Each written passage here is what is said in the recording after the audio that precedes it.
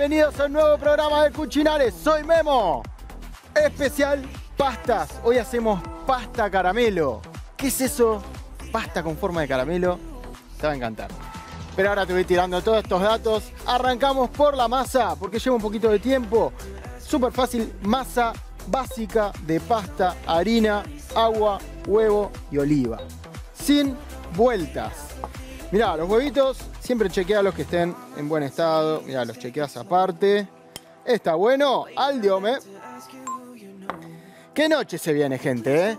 Me encanta, me encanta porque traemos acá una nueva propuesta, una pasta con forma de caramelo, para que vos te diviertas en tu casa y digas, che, está bueno hacer pastas. Me divierte, me copa, me gusta. Bueno, pasta caramelo es una pasta rellena, obviamente. La vamos a cocinar también en agua, se va a hervir. Es muy fácil. Lo único que tiene es que en vez de formato de sorrentino redondo raviol cuadrado, tiene forma de caramelo. Sí, caramelito con las dos puntitas, con todo el rizado.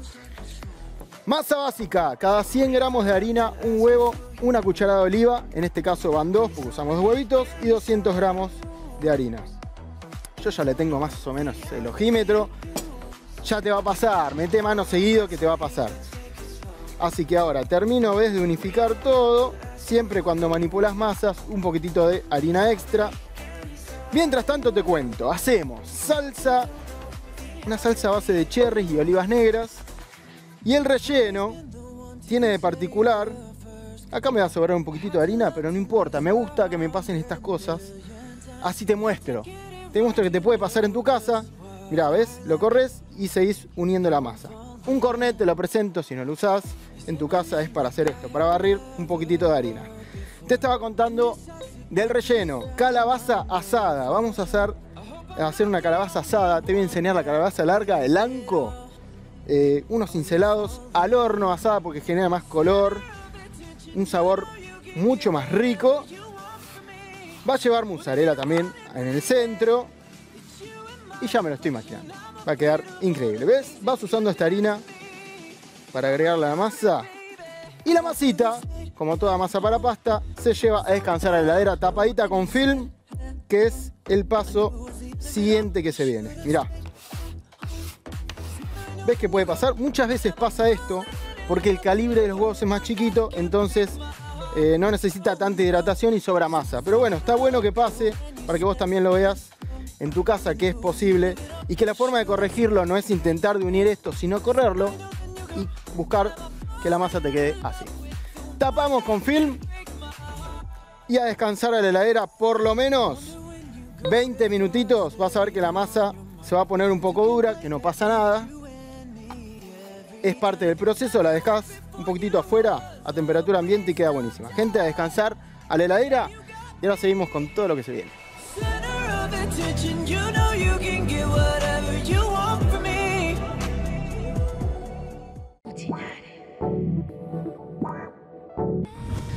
Bien, se viene el armado de la salsa sartén a calentar un poquitito porque vamos a fundir mantequita salteado de cebolla, un ajo también, pero paso primero este, mirá.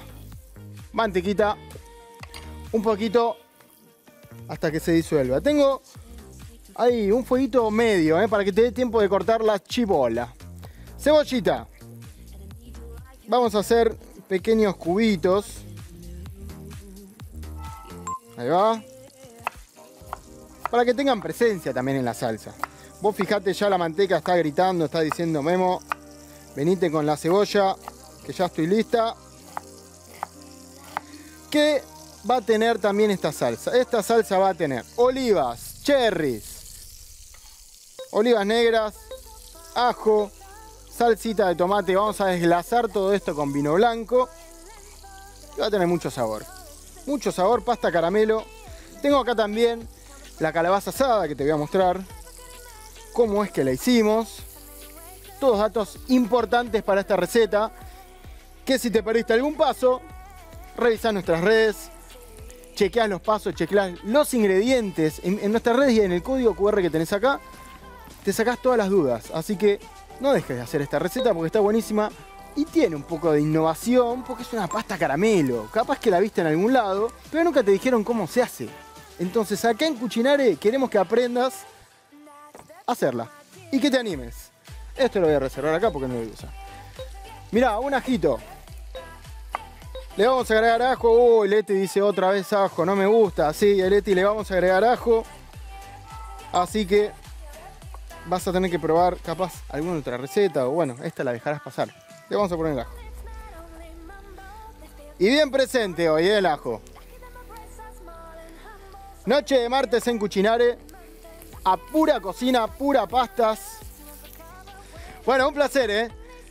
Una vez que toma color, agregamos el ajito. Esto está divino. Agregamos vino blanco para desglasar. Si no lo escuchaste nunca, la palabra desglasar es levantar los fondos de cocción de lo que estás haciendo. Se hace generalmente después de un sellado. Si vos estás sellando carnes y viste que queda pegadito, bueno, el alcohol, el vino blanco, el vino tinto, levanta todos esos sabores y se llama desglasar. ¿Ves? Le das algún pequeño movimiento, dejas evaporar el alcohol y todo solucionado queda buenísimo. Voy preparando unos cherry, porque esta salsa va a tener unos cherry, y este líquido de cocción los va a cocinar. Pero ¿qué pasa? Para que no se te vaya, apenas le bajas el fuego. Entonces te da tiempo de cortar los cherry.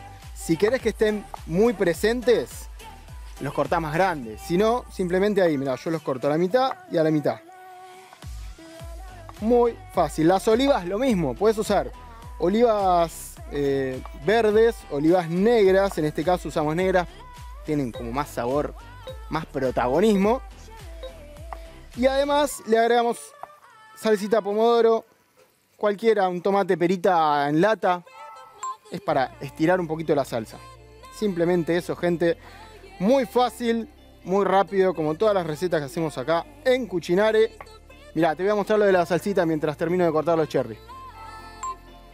No saben el aroma que sale de esta salsa. Nada, es increíble. Mientras tanto, agregamos esto, sigo cortando algunos cherry más. Fíjate que baja la temperatura de cocción, no pasa nada. Bueno, sigo cortando. Voy a cortar un par más de cherry, después le agrego las olivas picaditas, salsa lista y nos pasamos al relleno.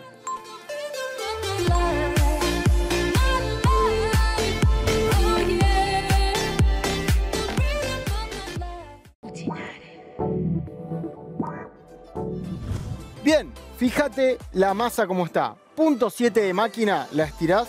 Obviamente ya descansamos. Y si no, a palote también, que está bueno, laburarla cada tanto a palote, haces un poco de fuerza. Un milímetro y la tenés lista.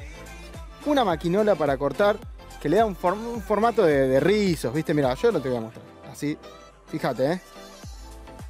¿Ves que queda con la formita característica de un, de un caramelito? Porque hoy estamos haciendo pasta caramelo Vas a hacer tipo así rectángulos. Tengo un par adelantados ya, pero no quería eh, dejar de mostrarte este paso que está bueno. Ahí haces rectángulos y ahora te voy a mostrar la forma de rellenarlo. Muy fácil. También te muestro un poquito del relleno. Increíble. Tengo la salsa acá. Todo para que sea una gran, gran noche.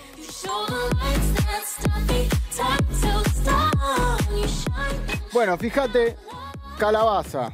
Le pegué una calentadita en el hornito. Calabaza, media calabaza, le hice apenas unos cortes con el cuchillo. Sal, pimienta, oliva y la llevé a horno hasta que quede así bronceadita caribeño.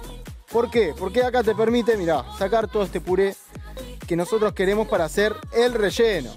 Obviamente, ahora está bastante caliente, pero te quiero mostrar los pasos que hice. Yo ahora, mira, lo tengo acá armadito en una manga mucho más fácil de rellenar. Lo cortas ahí y vas armando toda la pasta. Esto tiene que estar súper frío, por eso es importante, pero no quería saltearme este paso y mostrarte cómo hicimos el purecito de calabaza así asado que queda buenísimo. Bueno, ¿qué dice? Mirá, un poquitito de sal. Te muestro los pasos, para que vos lo sepas. Sal, pimienta. Y le puse nuez moscada. ¿Viste que queda copado con la calabaza? Nuez moscada adentro también un poquitito, lo pisateás. Te buscas una manguita de estas, acordate, en un bowl, cubrís, adentro haces un nudito y en la heladera. Esto bien, bien frío. ¿Vamos a rellenar la pasta? Venite, mirá. Tengo la salsa hecha, el agua en ebullición. Está todo para que sea una gran noche y que podamos cerrar esto y coronar. Bueno, relleno. cortamos ahí y tengo para rellenar. ¿Usaron manga alguna vez? Es muy fácil y encima es muy práctico. Fíjate los rectángulos que hicimos hace un ratito. Tengo quesito acá que también le vamos a poner. Haces un botón. Mirá, ¿eh? De calabaza. Quesito al medio. Un poquito de agua pinta las puntas, los bordes de la masa para que una más fácil. Y armamos el caramel. Fíjate. Te lo voy a hacer así, así lo ves bien desde ahí. Ahí. Media vuelta. Se unen las masas, sacamos el aire de adentro del caramelito. Apretamos y apenas una vueltita. Y piseas. Ahí está. Apenas una vueltita o pisoteas bien. Fíjate lo que es. Pasta caramelo, esto derecho al agua. Queda buenísimo. ¿Vamos con otro? Te voy a mostrar otro. Vení. Lo voy a hacer más rapidito. Ahí. Relleno al medio. No te pases de relleno. Ahí va a estar bien. Cubito rectangular como más te guste de queso. Pinta los bordes. Súper fácil, ¿eh? ¿Probaste de hacer esta pasta? Te quedes con ganas. Anda anotando, sé que estás ahí codeando. ¿Con quién estás? ¿Con quién estás viendo el programa? Decirle, no sabes lo que vi, despertate, no sé lo que estoy viendo. Une bien los bordes, sacas el aire, presionás y queda el caramelo formadito, divino. Tengo todo preparado, el agua en ebullición. Voy a hacer un par más porque acá hay una banda que tienen hambre. Y se viene el cierre. Bien, y se viene la pasta al agua, eh, a nadar. Agua en ebullición, bastante agua, siempre insisto en esto. Es importante. Salamos en este caso el agüita antes, Fíjate como tengo burbujeando la salsa que le subo un par de puntitos. La pasta casera es muy rápida, fíjate. Se van a dar, es un toque, van a subir enseguida. Igual estos son bastante pesadones ¿eh? como para subir, así que me parece que los vamos a tener que pescar. Le damos un toquecito de tiempo ahí, para que no se pegoteen en el fondo. Y ahora lo llevamos a nadar a la salsa. Toda la pasta recomiendo, insisto, que se termine en la salsa. No hay duda con eso. Queda mejor si unifican todo con la salsa, toman el sabor, los sarteneas un poco, armás un poco de show ahí en tu casa. Mirá, ya empezaron a crecer, algunos quieren irse para arriba. Tengo acá la salsa a fondo. Mirá, me los pesco. Fua, mirá qué cucharonazo. Se vinieron varios, ¿eh? Voy a sacar todos. A nadar a la salsa. Les pego una buena sarteneada ahora. Fíjate, fíjate. Un poquitito de líquido de cocción le viene bien. Ahí está, fíjate, fíjate, mirá, mirá. Mirá cómo se llenan todos de la salsa, me vuelvo loco. Vamos a ordenar acá y ya se viene el emplatado. Venite que se viene el emplatado final. Fíjate lo que es esto, el brillo que tiene esta pasta, la salsa y este hermoso platito. Fíjate, ¿eh? Pasalos de a poquito, de a uno, no te quieras hacer el super chef. Cuida esta pasta, pasta rellena, caramelos. Te voy repasando todo lo que hicimos. Acá te digo, tenemos para varios, ¿eh? Ahí está, con cuatro. Queda hermoso, pero le voy a sumar salsa arriba. Me encanta, ahí todo bien salseado. Te quiero mostrar el relleno. Venite. A ver, corto uno al diome y te muestro. A ver cómo quedaron. Mirá, mirá, mirá, mirá. A ver quién se me viene conmigo. Ahí va, mirá lo que es este relleno, una locura. La verdad no me voy a mandar todo esto a la boca, pero gente, qué buena noche tuvimos. Increíble plato. Yo me quedo con esto, ¿eh? Me despido, gente. Nos vemos en un nuevo martes y un nuevo programa de Cochinares. Comemos. la mata, quieren comprarte siempre con plata, pero esa solo